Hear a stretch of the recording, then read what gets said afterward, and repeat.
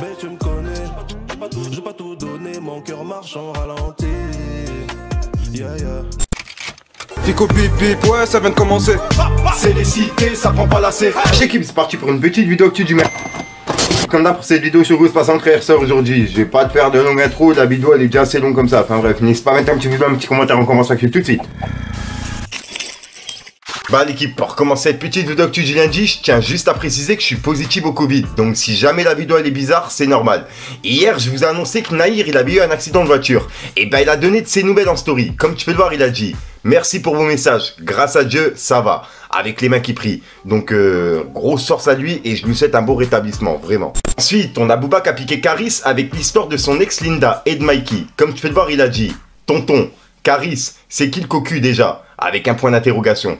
Donc voilà. Et comme tu peux le voir, c'est une photo justement de Caris et de Mikey, son ami d'enfance. Ensuite, l'équipe, on a Seth Gecko qui a supprimé le son crack de son album, en featuring avec Dada. Et je rappelle que c'est Booba qui lui avait envoyé un message en privé, en lui disant de supprimer le son. Et sinon, justement, il allait le faire sauter lui-même, tu vois, en sautant l'album directement. Donc, euh, donc voilà, c'est pour ça que le son il a été supprimé des plateformes. Ensuite, en parlant de Seth Gecko, il est passé en interview chez Génération. Et je l'ai regardé en entière, c'est une interview qui dure presque une heure. Et il a expliqué justement ce qu'il va faire juste après le rap.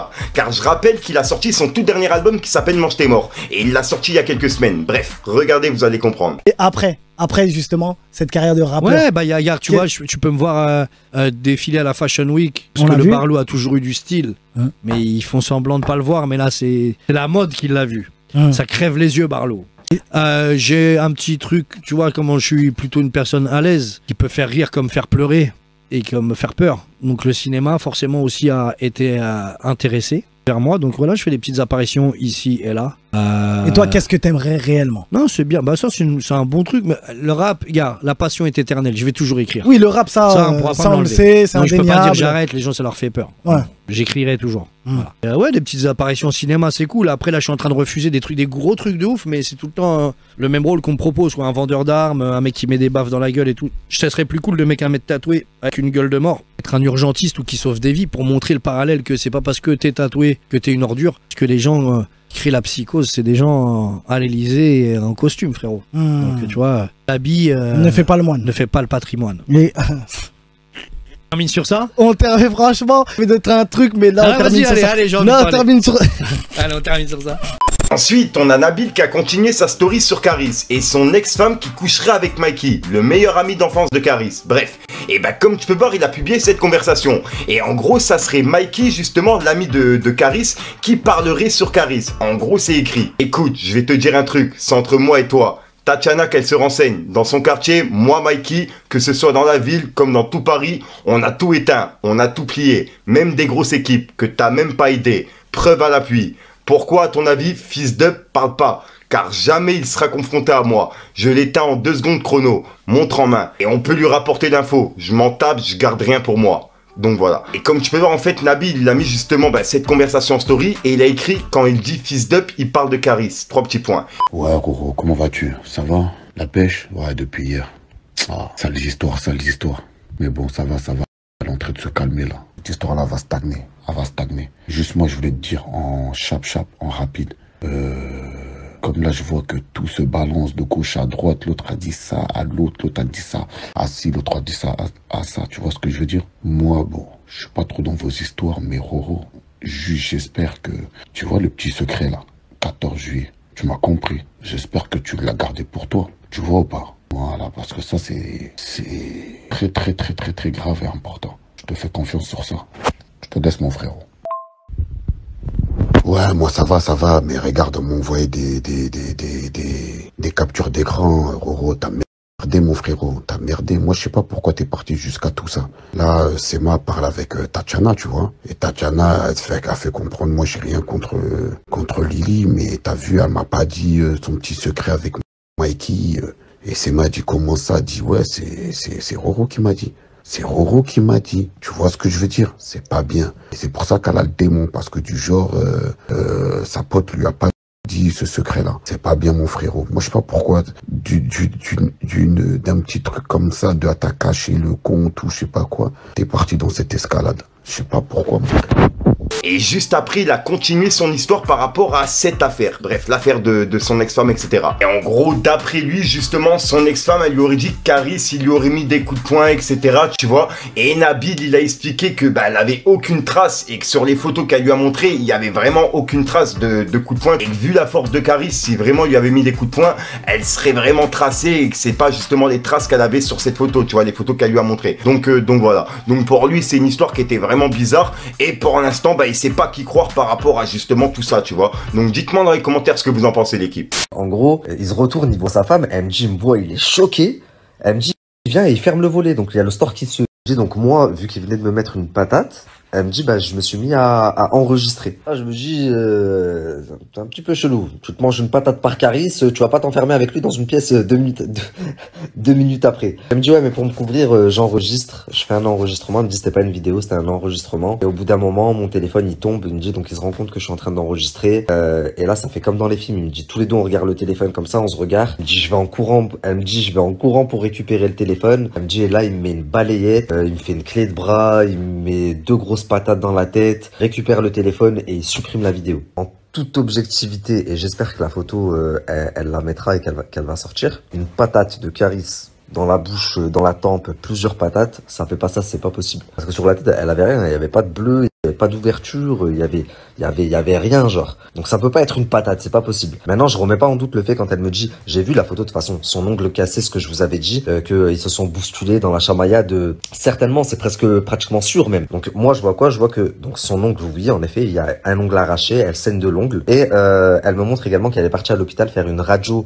du pied. Euh, elle me montre une constatation médicale. Elle me dit voilà, euh, en gros, j'ai, elle a fait une genre d'entorse, elle s'est tordue la cheville. Elle a pas senti la douleur sur le cou, c'est c'est venu euh, après. Par contre, patate, voilà, euh, après Allah Alam, peut-être que je me trompe, mais si lui met une patate et qu'elle marque comme ça, ça veut dire que moi j'ai plus de, dire que j'ai plus de force que lui, sûr. Parce que si moi je lui mets une patate, euh, la tête de moi, c'est, enfin c'est une femme, c'est obligé. Soit je vais l'ouvrir, soit elle va enfler, soit en plus elle est toute petite, toute mignonne. Tu lui mets une patate, elle marque. Donc si Caris, il te met une patate et que ça te fait ça, elle avait rien, c'est que c'est qu'il y a un problème. Donc là-dessus, autant sur certains trucs je crois, autant là-dessus je crois pas du tout.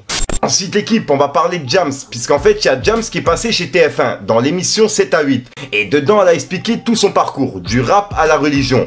Et ben suite à ça, on a Matt Houston qui a encore une fois réagi. Et il a tout expliqué pourquoi justement il avait poussé un coup de gueule et pourquoi il a repoussé un aujourd'hui. Bref, regardez, vous allez comprendre. Ah, Jams, Jams, Jams, Jams, Jams. Bigo. Ah, elle a réussi. Hein. Pas de problème. Elle vous a tous eu. non, j'aime la sœur. Déjà. Il y a un truc qui est simple, c'est sûr, c'est que j'aime la sœur. Après, le seul truc que j'aime pas, parce que je me suis mal exprimé la première fois, le seul truc que j'aime pas, c'est se servir d'une religion à des fins commerciales ou politiques. Tu vois, c'est plus ça. Donc ces deux trucs-là sont réunis dans ce qu'elle fait en fait. Elle vend son film, elle fait ses trucs, et finalement par rapport à une religion. Donc moi, qu'est-ce que je vais faire? Je vais descendre dans une église, je vais me faire, euh, je vais me faire, euh, tu vois? Ouais, je disais. Donc moi, moi, je vais descendre dans une église et je vais me faire euh, ou pasteur ou je sais pas trop quoi pour vendre ce que j'ai à vendre. En fait, c'est ça que j'aime pas en fait. Ça a pas été compris parce que je me suis mal exprimé en fait. Tu vois? Mais je peux pas cautionner en fait ce genre de truc. C'est impossible. Je peux pas cautionner ce genre de truc. Tu n'arrives pas avec une religion déjà d'une qui n'est pas la tienne, tu vois, puisque on sait que t'es française, t'es convertie, t'es tout ce que tu veux, tu vois. Tu n'arrives pas avec une religion qui est pas la tienne pour encore être plus religieuse en fait que les religieux eux-mêmes. Never, ever, never. Tu fais pas ce genre de truc. C'est pas possible. Mais j'aurais jamais fait ça. Tu vois? Ouais, pipe. Moi, j'aurais jamais fait ça. Je me serais jamais servi d'une religion pour arriver à, à, à quoi qu'il arrive, en fait. Tu vois? À quoi qu'il arrive, j'aurais jamais fait ça de ma vie, tu vois. Après, maintenant, si ça fonctionne pour elle, tant mieux, tu vois. J'en veux pas à la sœur. C'est sa stratégie. Parce que finalement, c'est qu'une stratégie, en fait. C'est qu'une strat...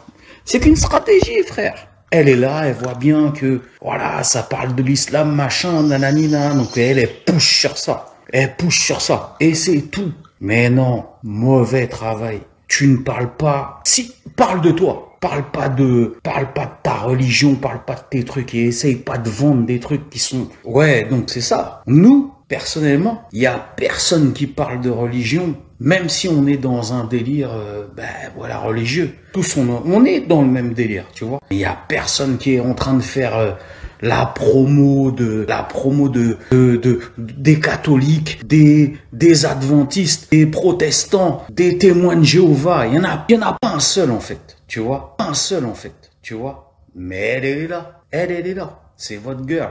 Bah écoute, euh, pas de problème mon frère. Moi je suis là, tu vois, je suis là aussi, tu vois. Mais ah mauvais travail.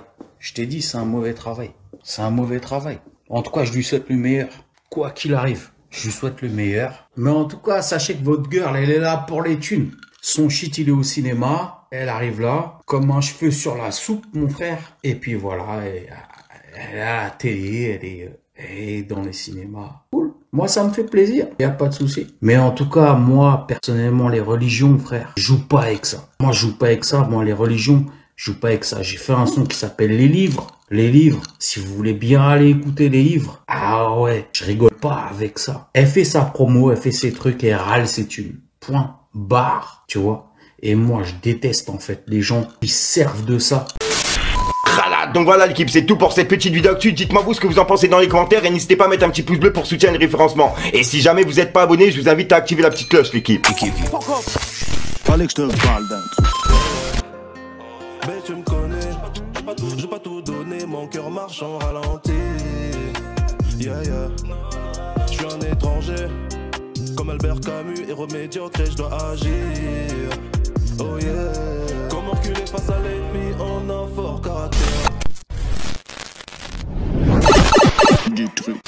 Ah, donc voilà l'équipe, se passe entre sur aujourd'hui. Comme d'hab, j'ai pas de casser écoute trop temps, n'hésite pas à mettre un petit pouce bleu, puis un référencement. Si t'en penses dans les commentaires, comme d'hab, si t'as pas de mettre un commentaire, tu mets pour c'est juste pour référencement. Ouais, vas-y, je crois j'ai loupé le 1 et le 2. Moi je te dis à soir pour une nouvelle crochante, une nouvelle vidéo et une nouvelle exclue. C'est game.